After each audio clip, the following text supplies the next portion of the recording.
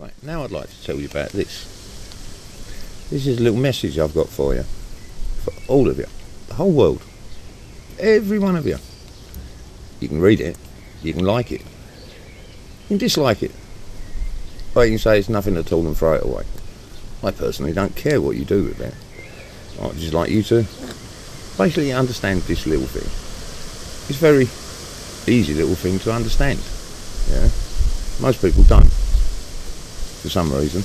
They've been told other things and they think that's right. I personally think some of the things they think are right, but not all of the things they think are right. Some of them are. Anyway, I've got different reasons for doing things. I'm doing this for the benefit of my children and the benefit of your children, the benefit of my friends and your friends. I'm also doing it for the benefit of my enemies, doing it for the benefit of whole mankind. I know that might sound fucking egotistical and that, but maybe it does. But after sitting meditating for many years how to give this message, well, this is the only way I can think of doing it. So here we go. My message to you is Yog for world peace, for world truth, and for world understanding. One world, one people, one God. What is Yog? Yog is meditation. Meditation is a process of worship recommended in the Bhagavad Gita and the Upanishads, ancient Sanskrit text. What is peace? Peace is a state in which we are in understanding and in tune with the whole. What is understanding? Understanding comes when we see the truth. Now, what is the truth? Yeah. Well, the truth is we're all but one. One people, one world, one God, undivided. Same God for all religions, past, present and future. There have been many names for God. And that's only right. Since we've become so separated from each other, so many different families, Christian, Jew, Muslim, Hindu, Buddhist, Astro-Zionist, Taoist. Oh, they go on. Many, many different religions. And all the sub-religions are them religions. The different groups. And this is our part of this religion, and that's your part of this religion, and they fight about that as well. What's all that about? So many different families, so many different countries, so many different political groups, and so many different interests. It's not difficult to see why we've become so divided. And there's so much division in the world. What is God? Now this one, yeah, is very important because this one is very misunderstood. The word God makes people angry sometimes. Oh, I don't believe in a God. Hmm. Okay, fair enough. But this God is a three-lettered word. It's a very small God, word. God. God. Well, it means so much. Means so little to some people. But to me, it means a lot. Yeah? And this is what is God, what it means to me. It might not be what it means to you, but this is how I understand it. This is why I'm doing this. I do it for everyone here, for the whole world. I walk with peace and love and truth to spread a message that we're one people. Because, what is God? God is the energy that runs through all things, all times. God is life force in all living things. God is all things past, present and future. God is the whole. God is the fabric of the universe. We live in the body of God and God lives within our bodies. We're a part of the whole. And the whole is the form of all that there is, seen and unseen. That is what God is. And so much more. There are but two temples where God is ever present. The first is the planet we live on.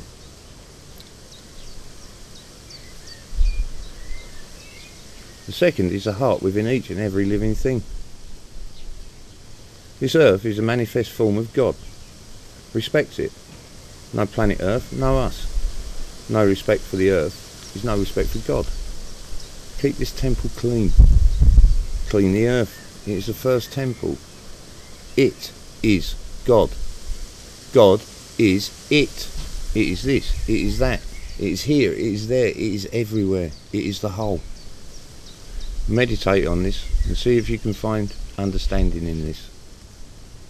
I hope you do all the best. Nancy Schwartz, Tim Baba. On the back, there's email addresses, sites. Google it. That's the message I'm giving out. And as I've said, the reasons. And the solution to our world's problems is peace, love and harmony. If your fellow man needs help, help him. Not for self-gain, but because it's the right thing to do. If someone's starving in the world, feed them. Not for future profit, but because it's the right thing to do. If people are dying from war, then step in and stop it. Cut off their arms. Stop selling them the weapons.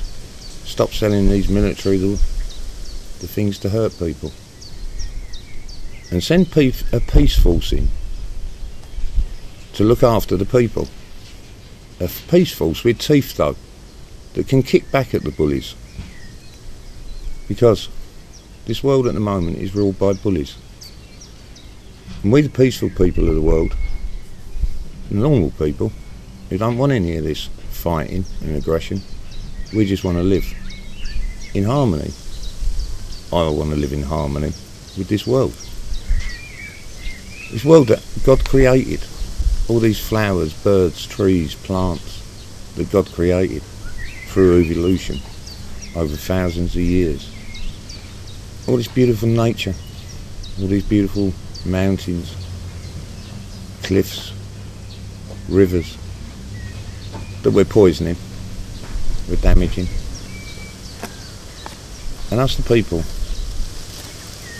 we the people, we are the only people who can change us. Because the people who are profiting off it won't change it. So we the people, through peaceful means, not through violence, because violence never solves anything. It creates more tension and aggravation. We don't need tension and aggravation in this world. We need understanding and love and harmony. Where people treat people right because it's the right thing to do and not the profitable one. People, look at this world. Look at the beauty in it. Look at the ugliness that has been caused. And think, well, the beauty should be over all things and clean that ugliness up. Change that picture. So the betterment of all of us, all of our children, all of our grandchildren, out of respect for this, the whole. Respect the whole, not the money. The money's an illusion. All this is an illusion. Look at your cities you live in. Big concrete jungles, no connection with the nature. This isn't how we're meant to live. This is like battery farms for chickens. We're meant to be living in harmony with the whole. Not damaging it, destroying it. Look at the world, look at the trees, look at the flowers. Look at all the birds. Look at the butterflies all created by it for us to get pleasure from. Most people don't even see it today because it's all covered up with concrete and fast motorways that go flying through it. So me now, I'm going to get on my horses in a couple of weeks. And I want to ride through this beautiful world while it's still there and spread the word of unity and love, peace and understanding and hope it has some effect on the rest of the world. And I apologise to anyone I offend by doing this. But I'm sorry. Thank you.